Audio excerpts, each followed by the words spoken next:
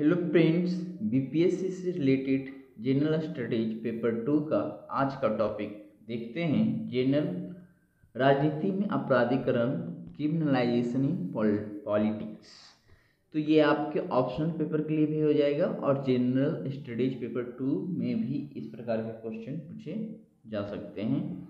ठीक है? तो देखते हैं कि इसमें हमने क्या किया है।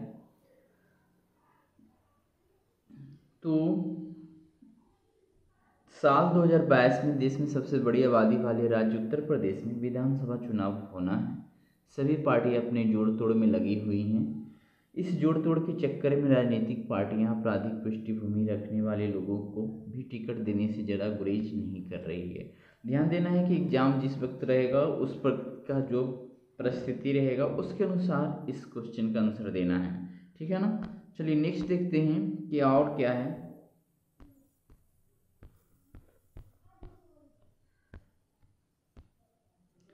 एक आंकड़े के मुताबिक देश भर में सांसदों, विधायकों और अन्य जनप्रतिनिधियों के खिलाफ कुल, ये सब डेटा कुछ माइंड में रहना चाहिए। चार हज़ार चार सौ बयालीस मामले लंबित है। इसमें से दो हज़ार पाँच सौ छप्पन मामले ऐसे हैं जो वर्तमान सांसदों और विधायकों के खिलाफ हैं। इन आपराधिक मामलों में भ्रष्टाचार मनी लॉन्ड्रिंग सार्वजनिक संपत्ति को नुकसान, मानहानि और धोखाधड़ी और यहाँ तक कि बलात्कार और हत्या आदि के मामले भी शामिल हैं। इसमें से ज़्यादातर मामले जानबूझकर अवज्ञा करने और अधिकारियों द्वारा जारी आदेशों में बाधा डालने के कारण आईपीएससी की धारा एक सौ अठासी के तहत दर्ज हैं। 413 मामले ऐसे हैं जिनमें अगर सजा हुई तो आजीवन कारावास का प्रावधान है और इन 413 में से सत्र एक मामले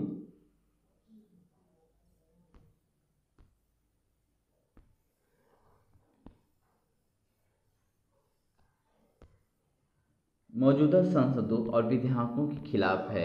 गौरतलब है कि राजनेताओं और जनप्रतिनिधियों के खिलाफ सबसे ज़्यादा मामले उत्तर प्रदेश में लंबित है। राजनीति में आपराधिकरण के लिए किसी एक व्यक्ति, किसी एक संस्था या किसी एक कारक को जिम्मेदार नहीं ठहराया जा सकता। क्योंकि इन अपराधियों का अपने क्षेत्र में अच्छा खासा दबदबा रहता है और ऐसे में संभावना रहती है कि यह चुनाव जीत जाएँगे। इसीलिए राजनीतिक दल भी उन्हें टिकट देने के लिए लाइत रहते हैं। वहीं अगर आम आदमियों की बात करें तो वो इन अपराधियों के बाहुबल और पैसे से इतना प्रभावित हो जाते हैं कि बिना जाँच किए ही वोट दे देते हैं। कई बार भारत में चुनावी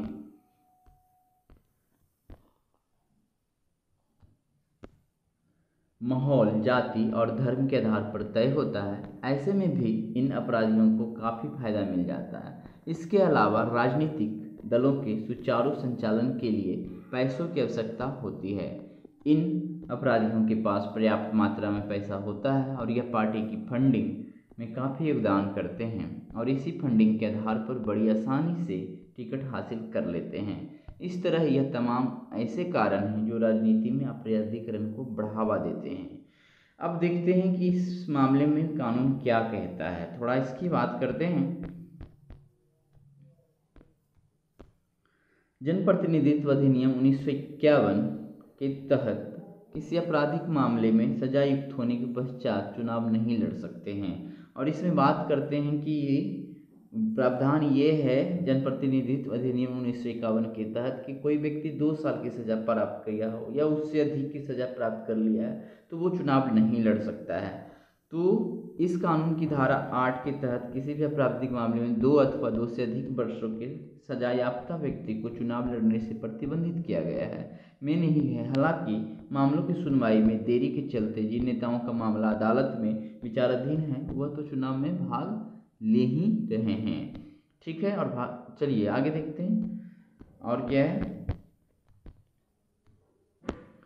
राजनीति में आपराधिकरण पर चिंता जताते हुए सुप्रीम कोर्ट ने फरवरी 2020 में कुछ दिशा निर्देश जारी किए थे। सुप्रीम कोर्ट ने सभी राजनीतिक दलों को उनके द्वारा अपने चुनावी उम्मीदवारों को टिकट देने के 48 घंटों के भीतर अपनी वेबसाइट के होम पेज पर आपराधिक इतिहास वाले उम्मीदवार शीर्षक के तहत आपराधिक इतिहास यदि कोई हो, को प्रकाशित करने का निर्देश दिया था। हालाँकि तमाम कानूनी उपायों के बावजूद हम आप अच्छी तरह वाकिफ़ हैं कि राजनीति में अपराध की वास्तविक स्थिति क्या है? थोड़ा और पॉइंट देख लेते हैं। आगे क्या किया जाना चाहिए? विशेषज्ञों का कहना है कि राजनीतिक दलों को खुद ही दागी व्यक्तियों को टिकट देने से बचना होगा। अन्यथा एक समय ऐसा आएगा जब जनता का इन दलों के ऊपर से विश्वास उठ जाएगा। इसके अलावा जनप्रतिनिधित्व अधिनियम में संशोधन करके ऐसे नेताओं को चुनाव लड़ने से प्रतिबंधित किया कर देना चाहिए, जिनके खिलाफ जघन्य अपराध के मामले लंबित हो दागी नेताओं के मामले को फास्ट रिकॉर्ड की मदद से संबंधित मामले को शीघ्रता से निपटाना चाहिए। चुनाव में फंडिंग को लेकर ज़्यादा से ज़्यादा पारदर्शिता पारदर्शिता लाई जाए। भारत के निर्वाचन आयोग को राजनीतिक दलों के वित्तीय खातों के ऑडिट शक्ति प्रदान की जानी चाहिए। तो कुछ ये बातें हुई आपके लिए BPSC mains general studies paper two ठीक है दोस्तों तो आज की वीडियो में इतना ही। हमारे चैनल पे इसी प्रकार से पीपीएससी की तैयारी के लिए बनने हैं। मेंस से रिलेटेड और प्रीलिम्स से रिलेटेड सारे वीडियो धीरे धीरे मैं अपलोड करना शुरू कर दिया हूँ, ठीक है? तो वीडियो को आगे अपने सर्किल में भी फैलाएँ, चलिए, ठीक है? आज पर के लिए इतना ही, धन्यवाद।